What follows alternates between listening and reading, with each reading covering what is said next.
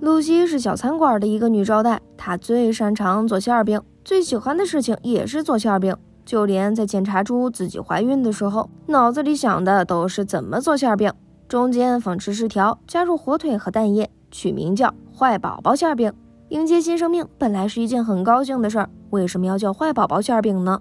因为露西不想生下丈夫的孩子。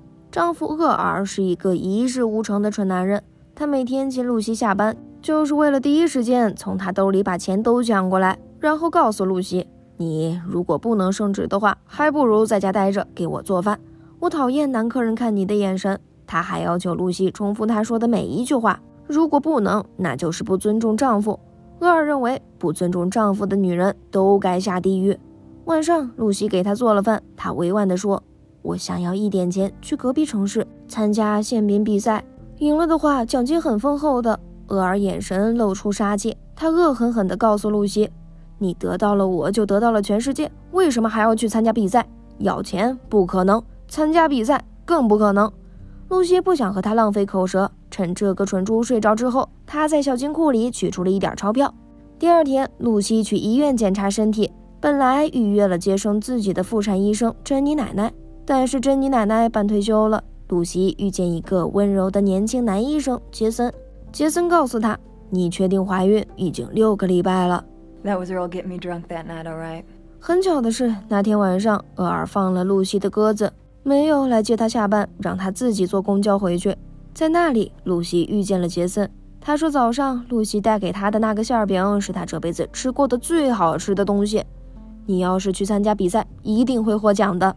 真是离谱！陌生人都知道的事情，家里的丈夫却不知道。两人的对话很愉快。露西回到家，厄尔缠着她要搞点事情，露西烦都要烦死了。但是如果不答应这个男人，等待她的会有更多麻烦。第二天早上，露西打电话给杰森，她出了几滴血，不知道这样会不会对胎儿有影响。杰森说：“你可以到门诊来，我帮你看一下。”露西不能耽误上班。就问他早上七点可以吗？当然没问题。杰森一大早就在门诊等他了。露西的微量出血没什么问题，孕早期出现这种情况很正常。杰森也没仔细检查，看都没怎么看，就告诉露西把裤子穿好吧。他尴尬的样子让露西很愤怒。他问杰森平时医院几点开门？Nine o'clock。那你一大早七点在这儿等我，就为了告诉我一切都正常，连检查都用不着？杰森脸涨得通红，一句话不说。但接下来，他们很快就搞明白，这一大早的偷偷见面代表了什么。两个已婚人士，男人是女人的妇科医生，他们在门诊的院子里不可控制地拥抱在一起。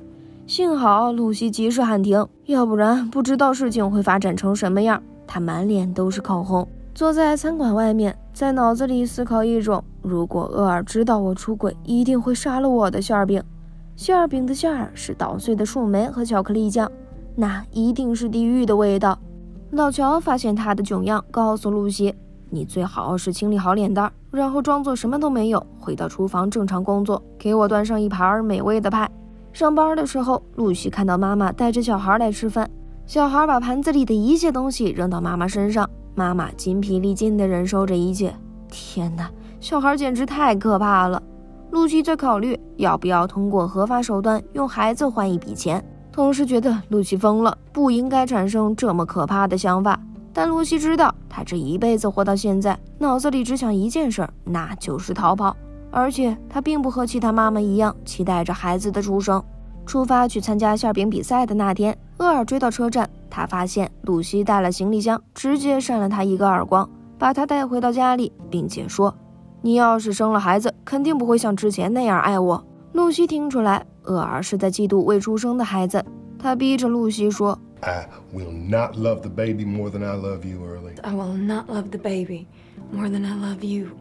露西去做产检，看到胎儿心跳的时候，露西肯定自己是怀了厄尔的孩子了，而且孩子正在健康的长大，情况并不是很妙。支走护士的时候，露西又不受控制的和杰森抱在一起。他俩都知道这样不对，孕妇爱上了自己的妇产科医生，怎么想怎么都太禁忌了。但这一切就是发生了。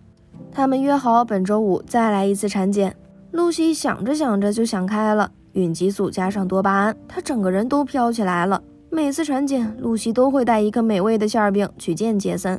但过了几个月，杰森和妻子飞回老家参加葬礼，是珍妮奶奶给露西产检的。幸运的是，露西的宝宝也很健康。餐馆老板也同意露西继续工作，不会因为她怀孕就辞掉她。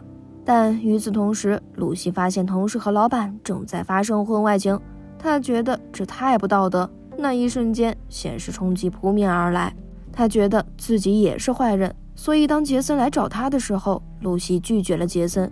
并且说我们之间应该结束了。单方面宣布和杰森分手之后，露西非常难过。她躺在床上，想象一种叫做悲伤的孕妇自怜自艾的馅饼。这时，杰森来找她，还紧紧抱住她，然后他们一起做馅饼。露西这才知道自己是一个那么喜欢交谈的人。她每天都会给杰森打电话，把自己的心事讲给他听。他们在杰森的办公室里度过了一段非常快乐的婚外情时光。杰森某天送给露西一个金光闪闪的烤盘，这是露西见过最美的东西。他们彼此陷得更深了。几个月后，露西的同事在餐馆里举行了小型婚礼。前几天，同事还说这矮子是神经病，现在却成了他专属的浪漫诗人。爱情这东西真是会让人目眩神迷，失去理智。乔在婚礼上邀请露西跳一支舞。他感谢这么长时间里露西给他做的美味的馅饼，容忍他这么多的坏习惯。他知道露西的婚外情，也知道她恶毒的丈夫。乔对露西说：“Make the right choice. Start fresh.” 但是露西说：“我很穷，并且我要生孩子了。”此时，厄尔气势汹汹地闯进婚礼现场，他命令露西赶紧出来。事情的起因是，厄尔发现他藏在壁橱里的钱。这些钱本来是露西准备离开厄尔，开启新生活的，但是厄尔痛哭流涕，抱着露西的肚子问：“你为什么要藏钱？是不是要给我一个惊喜？”露西惊恐万分，只能顺着厄尔的话说：“他说这些钱是存着给孩子买一个婴儿床的，还有玩具、衣服都是给孩子的。”厄尔如释重负，原来露西是怕自己负担太重，为孩子存钱。Dear damn baby.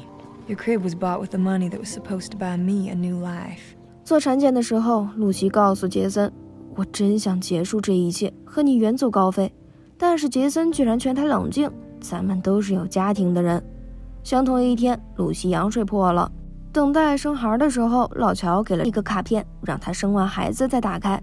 露西阵痛的头昏脑胀，杰森给她介绍了自己的老婆，同样也是医生。真不知道这个男人为什么非要在这个时间以这种方式膈应她。很幸运的是，露西凭借自己的力量顺利的生下了孩子。她在看到自己女儿的一瞬间，一种前所未有的感觉包裹了自己。露西觉得自己非常有力量，可以战胜一切。眼前的其他事情变得模糊，两个蠢男人的轮廓不再清晰。这时，厄尔告诉她：“你不能爱孩子，照顾我哟。”露西告诉他：“请你滚开。”我们离婚。在这之后，厄尔说了一些什么，露西也听不到了。他被医院的男护士请了出去。露西一觉睡到下午，厄尔拒绝付住院费，露西要被赶出医院。好在同事愿意接受露西住一段时间。坏消息传来，老乔没能熬过手术。露西打开卡片，里面有一张老乔画的露西和一张支票。出院的时候，杰森要和露西讲几句，露西让他什么都不要说。你妻子对你很信任，不要让任何人伤心。他和孩子一起离开了医院。孩子不到一岁的时候，露西用老乔给的钱去参加馅饼大赛，获得冠军，再用冠军奖金开了一家馅饼店。母女两人过上了平静的生活。馅饼比赛年年都有，太阳每天都会升起。什么时候决定重新开启你的人生都不会太迟。好了，今天的节目就到这里，我们明天再见。拜拜。